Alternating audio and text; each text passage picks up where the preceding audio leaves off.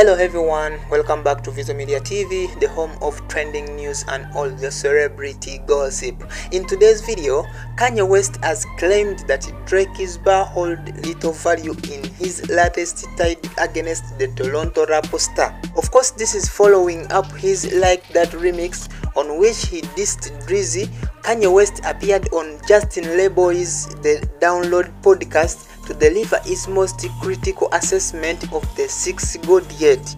Discussing Drake's recent this song, Push Ups, Kanye West said, Every bar that Drake said means nothing anymore. Drop and give me, I already nobody gonna drop and do rubbish. Your raps don't mean a rubbish nigga. Kanye West also mentioned Universal Music Group CEO, that is Sir Lucian, who he described as Drake's rich baby daddy. Elsewhere in the interview, Lucian and Drake, all this rubbish is artificial, pack that boy up. He later accused Drizzy, a perennial chart powerhouse who is Spotify's most streamed artist of all time, of ringing the game in his favor. It's like we are saving the world, that's what Kanye West said, referring to his Kendrick Lamar, Future, Metro Boomin and Rick Ross recent disses against Drake.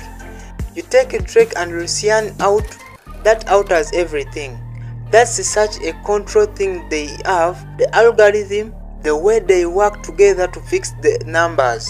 Kanye West also revealed on the podcast how this remix of Future and Metro Boomin is like that came to be. Lot called me and I went to the studio and we went through the creative process. Everybody was very very excited about the elimination of Drake. Not excited, we were energized. Kanye West also claimed that there is a spiritual reason behind his long running rivalry with his pop style collaborator. It's like he sold his soul to the devil not to be cool with me. This is his job to go against God.